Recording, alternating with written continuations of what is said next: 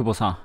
さっきね、報告がありまして、ニックネームゴミクズさんなんですけど、なんかあの、メルカリのやり方がわからない人に対して5000円でコンサル売ったらしいんですよ。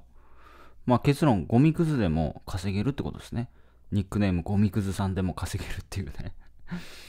だからまあ、結局その、うん、まあそこの報告でね、あったのが、まあしっかりと対応して、しっかりと情熱伝えて、自分こんなことできます、みたいな、いろいろバーって言って、まあ、ギブしてね、関係性構築して、じゃあ5000円です、みたいな、うん言ったのかな。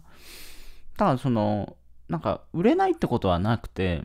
売れないんだったら売れない理由はもちろんあると思いますけど、なんかそのスキルがないから売れないとか、あんま関係ないですよ。なんかその人が心を動くと動かすとき、人が心を動くときって別にその、あの、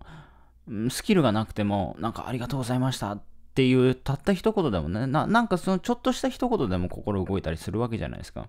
だからすげえコピーライティングがうまいとか、トーク技術がめちゃめちゃうまい、じゃなくても人の心は動かすことができるし、感動させることができるし、なんだろうな。うーん、そんな感じです。だから結局は、やったもん勝ちってことですね。相手の悩みを聞いて、まあ、そこに対して一生懸命回答すると。そしたらこの人僕のためにこんなやってくれたんだみたいになんかなるだろうし、だからそこにあとは値札をつけてご案内するかしないかですよね。だから売れないっていうことは多分、その売るっていうことをやってないんじゃないかなというところでございますね。いってらっしゃい。